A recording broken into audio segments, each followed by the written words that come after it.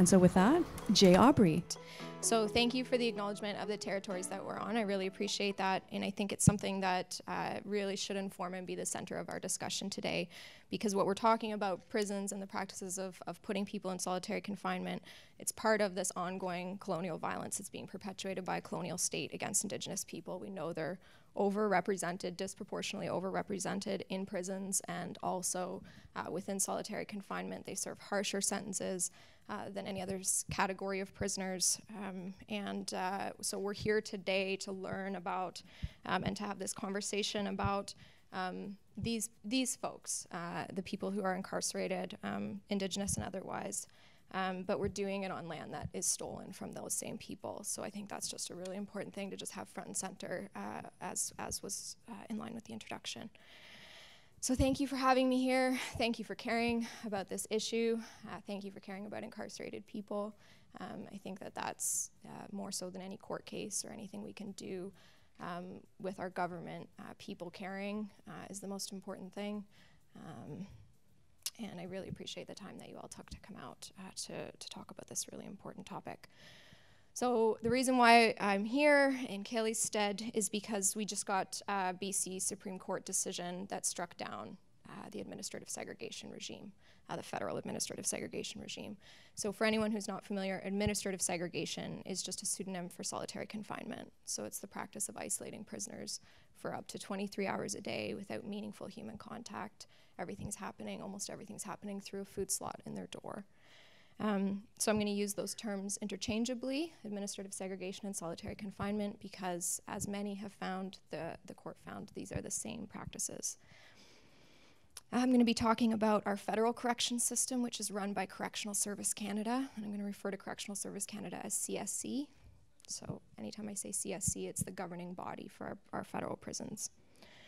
I also uh, just want to thank uh, Caily DiPuma, who was supposed to be here and speaking. She's uh, really sick and, and sends her regrets, but also Allison Latimer and Joe Arvay. So they were our trial team on the case. Uh, it was a nine week trial, uh, very little sleep. Uh, they were happy to do that. Um, it's the least we can do given the atrocities that are occurring in our prisons. My role in the case uh, as counsel was to build relationships with people who had experienced solitary confinement um, to help them uh, put their evidence into a written form called an affidavit and then to prepare them for cross examination uh, in open court. My job today uh, is, and I think moving forward forever, uh, is to amplify their voices, um, to highlight their bravery.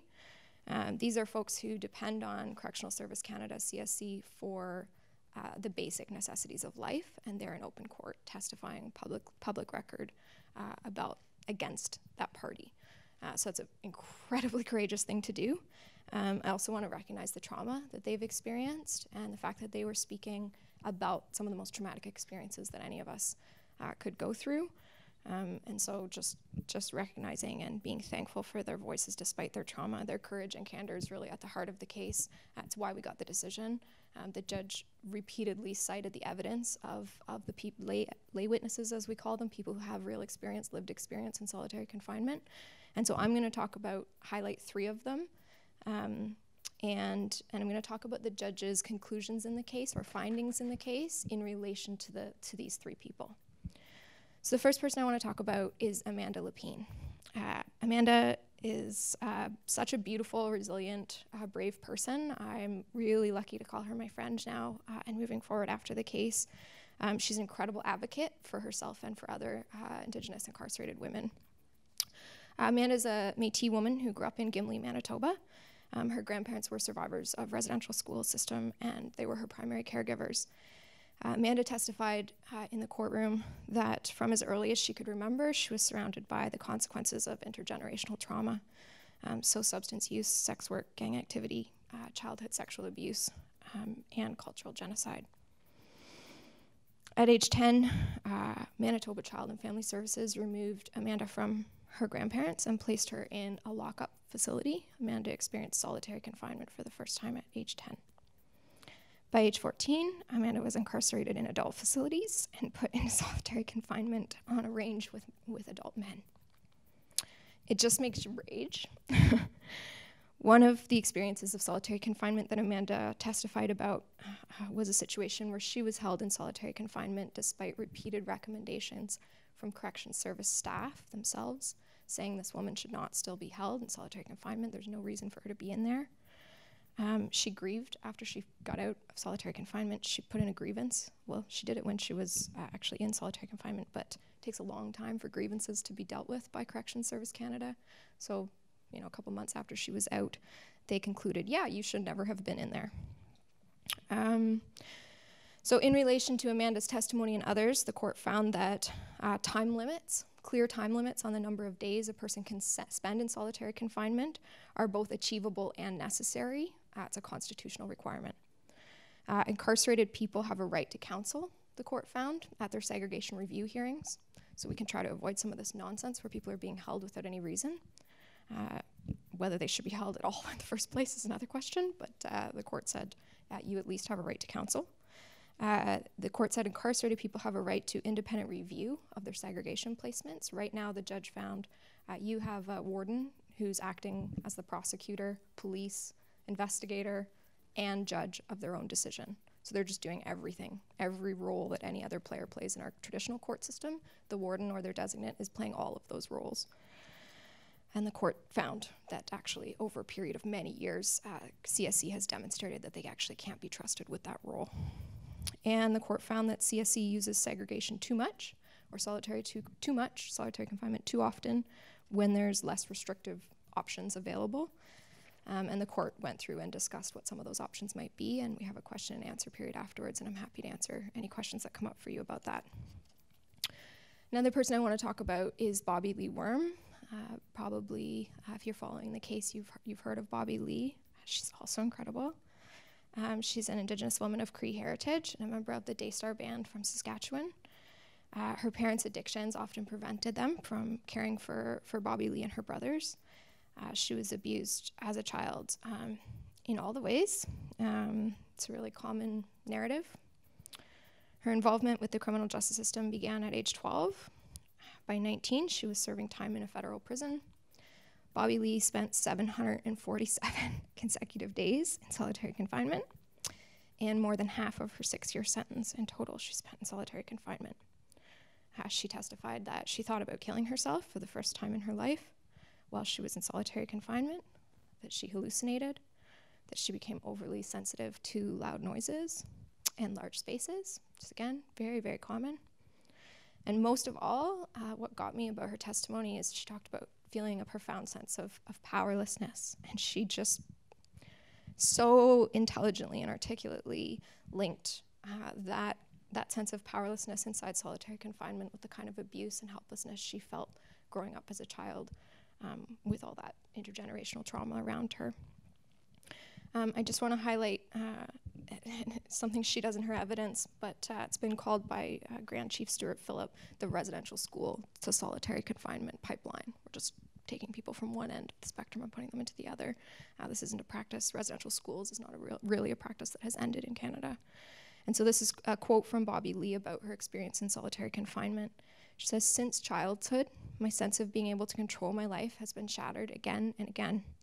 This feeling of powerlessness worsened during the years I spent in segregation. While I was in segregation, I was literally powerless. Every aspect of my movement was controlled and under scrutiny. I felt like I'd been thrown in a hole and left to rot. And she describes the feeling of when you're in a small space, imagine being in an elevator for a very long period of time. Um, over time, the space gets smaller and smaller, and she felt like it was sort of caving in her body. The court uh, after hearing Bobbi Lee's evidence and the evidence of others, found that administrative segregation or solitary confinement undermines the safety and security of the prison. So, the rationale that CSC uses uh, that they need to use solitary confinement for safety and security, court found actually it does the opposite.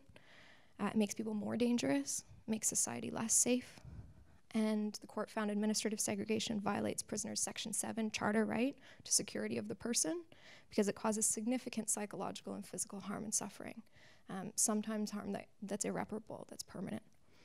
And I want to quote uh, the, the judge here, it's Justice Leask, paragraph 247 of the decision. He says, Some of the specific harms, this is based on international expertise, the evidence of, of these witnesses, some of the specific harms include anxiety, withdrawal, hypersensitivity, cognitive dysfunction, hallucinations, loss of control, irritability, aggression, rage, paranoia, hopelessness, a sense of impending emotional breakdown, self mutilation, or also known as self injurious behavior, and suicidal ideation and behavior. And that, importantly, it discriminates particularly against Indigenous people.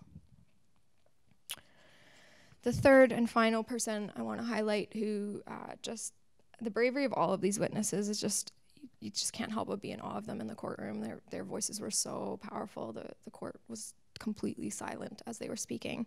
Um, and one that stands out in that regard is uh, Rob Roy, as the father of Christopher Roy, who was an individual who spent a great deal of time in solitary confinement. And Rob testified uh, that his son was calling him every week, once a week from solitary confinement. And on the phone, Rob was listening to his son uh, struggle with the isolation of solitary confinement and hearing him slide deeper and deeper into despair. Uh, in the second week of May 2015, excuse me, these calls abruptly stopped.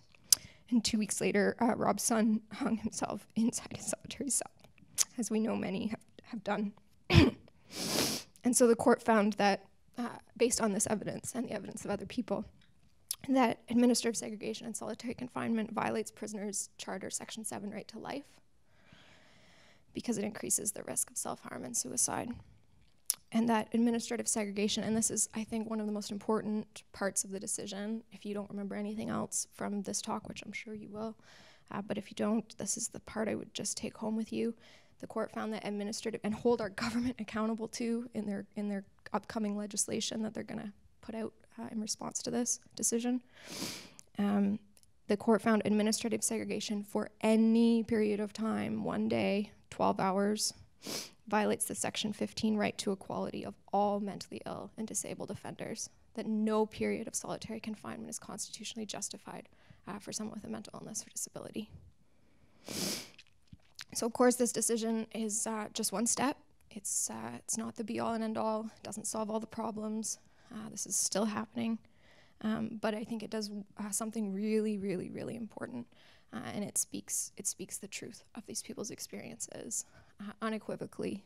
Uh, really, really brave brave decision from the courts. That we've never seen a judge be so clear uh, about the realities that they're facing, and also the lack of of any trust that society should have for Correctional Service Canada to properly use this tool in a fair or just way.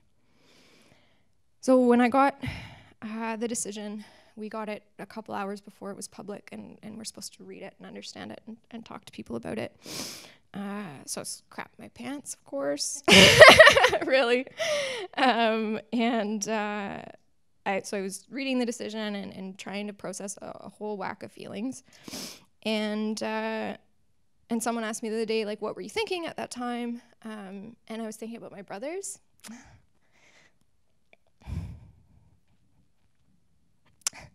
really hard to talk about this stuff without crying. I'm such a crier. Um, so I remember them as babies. I remember them as little children. And I remember, excuse me, the trauma that they experienced that led them, led them to the violence that they experienced later in life and perpetuated. And I remember how, how precious they are at all times in their life. But I think often when we think about prisoners, we think about uh, really violent people, and we don't think about that they're victims. We don't think about the violence that has been done to them. And I was also thinking about Ashley Smith. Um, been thinking about her so much since, and her mom, and uh, all the other babies and children and humans that that won't ever come back uh, from those cells. and that's one of the reasons why I'm so excited uh, to see this film today, um, because this is a practice that's ongoing uh, it's not over. Uh, people are still being held in solitary confinement at the provincial and federal levels.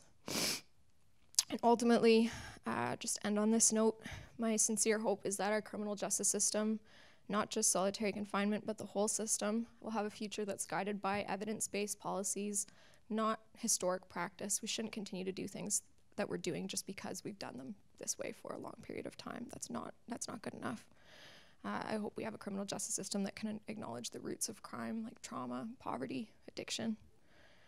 and that we can confront and support those realities, and that people who are engaged uh, in our criminal justice system will be supported and given the tools that they need uh, to live the lives that they were meant to live. Thanks.